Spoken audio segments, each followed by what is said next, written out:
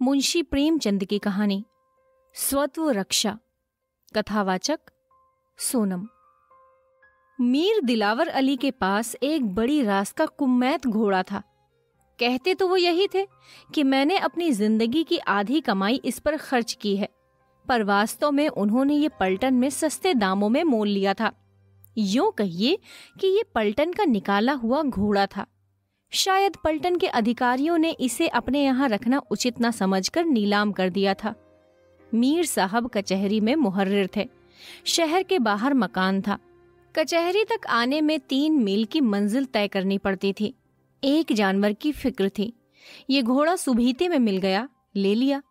पिछले तीन वर्षों से वो मीर साहब की ही सवारी में था। देखने में तो उसमें कोई ऐब ना था, पर कदाचित आत्मसम्मान की मात्रा अधिक थी। उसे उसकी इच्छा के विरुद्ध या अपमान सूचक काम में लगाना दुस्तर था। खैर, मीर साहब ने सस्ते दामों में कला रास का घोड़ा पाया तो फूले न समाये। लाकर द्वार पर बाँध दिया। साइज़ का इंतज़ाम करना कठिन था। बेचारे खुद ही शाम सवेरे उस पर दो चार हाथ फेर लेते थे। शायद घोड़ा इस सम्मान से प्रसन्न होता था। इसी कारण रातिब की मात्रा बहुत कम होने पर भी वो असंतुष्ट नहीं जान पड़ता था। उसे मीर साहब से कुछ सहानुभूति हो गई थी। इस स्वामी भक्ति में उसका शरीर बहुत क्षीण हो चुका था, पर वो मीर साहब को नियत समय पर प्रसन्नता पूर्वक कचहरी पहुँचा दिया करता था। उसकी चाल उसके आत्मिक संतोष की द्योतक थी। दौड़ना वो अपनी स्वाभाविक गंभीरता के प्रतिकूल समझता था।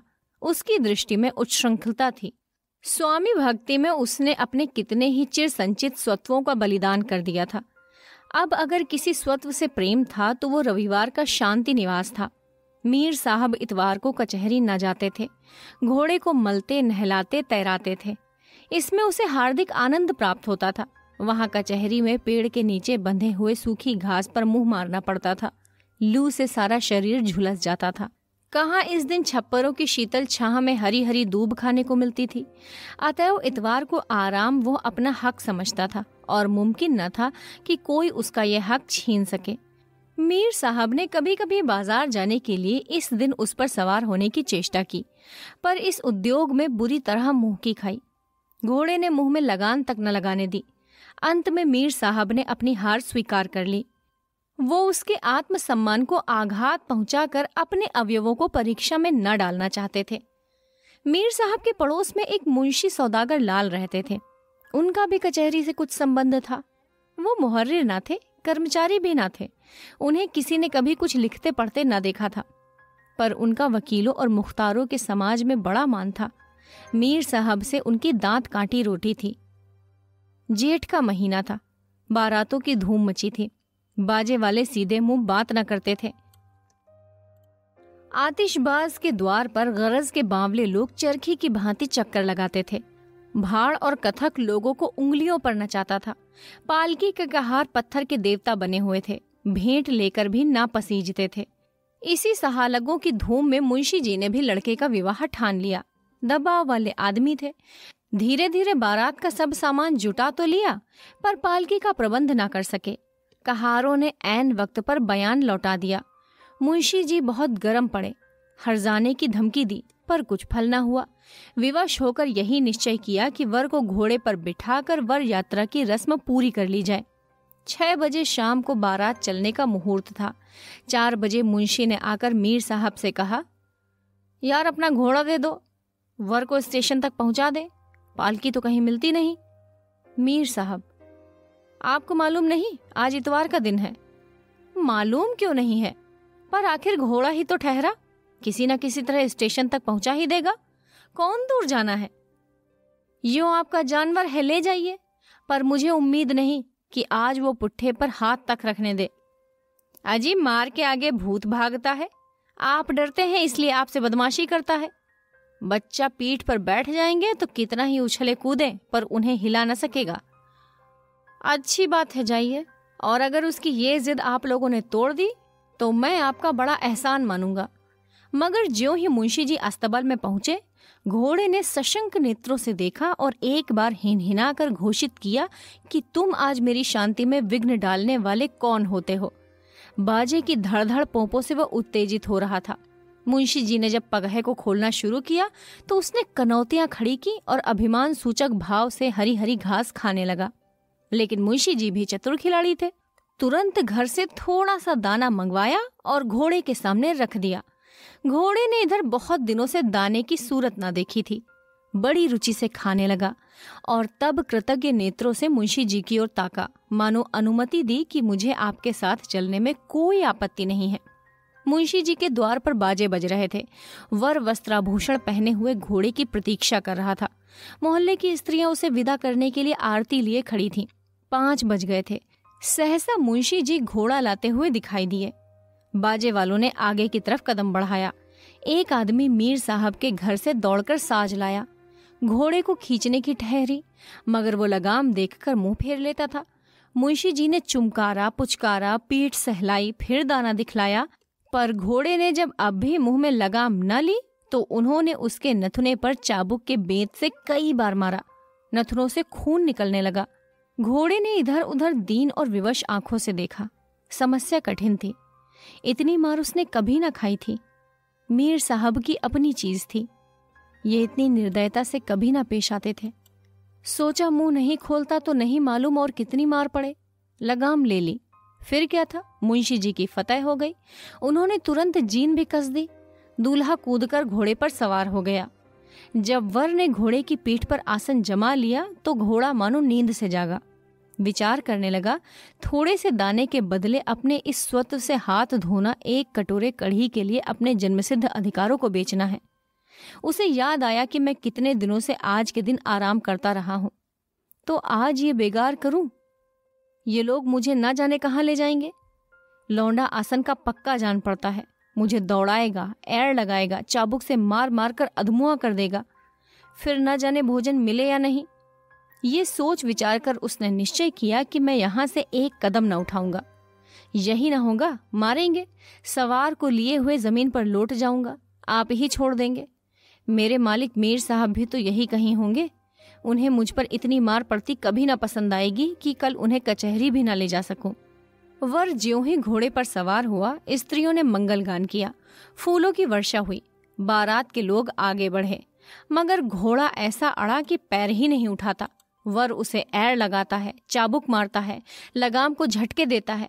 मगर घोड़े के कदम मनो ज़मीन में ऐसे गड़ गए हैं कि उखड़ने का नाम नहीं लेते। मुंशी जी को ऐसा क्रोध आता है कि अपना जानवर होता तो गोली मार देते, मित्र ने कहा। अड़ियल जानवर है, यो ना चलेगा, इसके पीछे से डंडे लगाओ, आप दौड़ेगा। मुंशी जी ने यह प्रस्ताव स्वीकार किया। पीछे से जाकर कई डंडे लगाए, पर घोड़े ने पैर न उठाया। उठाए तो भी अगले पैर और आकाश की ओर। दो एक बार फिर पिछले पैर भी, जिससे विदित होता था कि वो बिल्कुल प्राणहीन नहीं है। मुंशी जी बाल बाल बच गए। तब दूसरे मित्र ने कहा, इसकी पूंछ के पास एक जलता हुआ कुंदा जलाओ, आज के डर से भागेगा। ये प्रस्ताव भी स्वीकृत हुआ। फल ये हुआ कि घोड़े की पूंछ जल गई। वो दो तीन बार उछला कूदा पर आगे न बढ़ा। पक्का सत्याग्रही था। कदाचित इन यंत्रणाओं ने उसके संकल्प को और भी दृढ़ कर दिया था। इतने में सूर्यास्त होने लगा। पंडित जी ने कहा, जल्दी कीजिए, नहीं तो मुहूर्त टल जाएगा। लेकिन अपने वश की बात तो थी नहीं। जल्दी कैसे होती? बाराती लोग गाँव के बाहर जा पहुँचे। यहाँ स्त्रियाँ और बालकों का मेला लग गया। लोग कहने लगे, कैसा घोड़ा है कि पग ही नहीं उठाता? एक अनुभवी महाशय ने कहा मार पीट से काम नहीं चलेगा। थोड़ा सा दाना मंगवाइए। एक आदमी इसके सामने तोबड़े में दाना दिखाता हुआ चले। दाने के लालच में खटखट चल जाएगा। मुंशी जी ने यह उपाय भी करके देखा, पर सफल मनोरथ न हुए। घोड़ा अपने स्वत्व को किसी दाम पर बेचना नहीं चाहता था। एक महाशय ने कहा, इसे थोड़ी सी शराब पिला दीजिए। नशे में आकर खूब चौकड़ियाँ भरने लगेगा। शराब की बोतल आई। एक तसले में शराब उड़ेलकर घोड़े के सामने रख दी गई, पर उसने सूंघी तक नहीं। अब क्या हो? चिराग जल गए, मुहूर्त टल चुका था। घोड़ा ये नाना दुर्गतियाँ सहकर दिल में खुश होता और अपने सुख में विघ्न डालने वाले की दुरावस्था और व्यग्रता का आनंद उठा रहा था। उसे इस समय इन लोगों की प्रयत्नशीलता पर एक दार्शनिक आनंद प्राप्त हो रहा था। देखे आप लोग अब क्या करते हैं? वो जानता था कि अब मार खाने की संभावना नहीं है। लोग जान गए हैं कि मारना व्यर्थ है। वो केवल अपनी युक्तियों की विवेचना कर रहा था। पाँचवें सज्जन ने कहा, अब एक तरकीब है। वो जो खेत में खाद फेंकने की दो पहिया गाड़ी खड़ी होती है, उसे घोड़े के सामने लाकर रख दीजिए।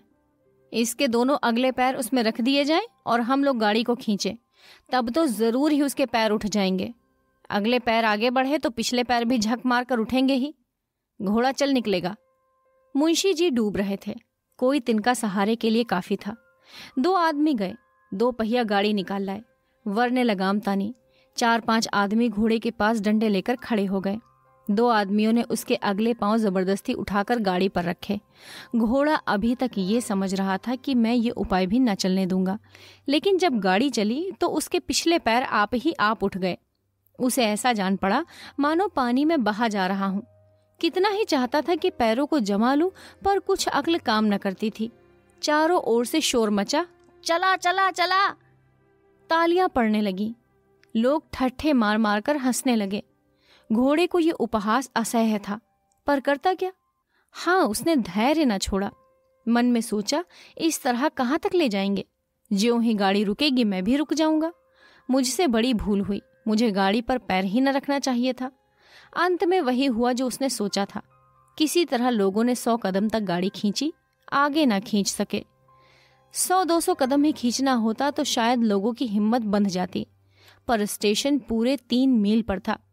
इतनी दूर तक घोड़े को खींच ले जाना दुस्तर था। ज्यों ही गाड़ी रुकी, घोड़ा भी रुक गया। वर ने फिर लगाम को झटके दिए एर लगाई, चाबुकों की वर्षा कर दी, पर घोड़े ने अपनी टेक न छोड़ी।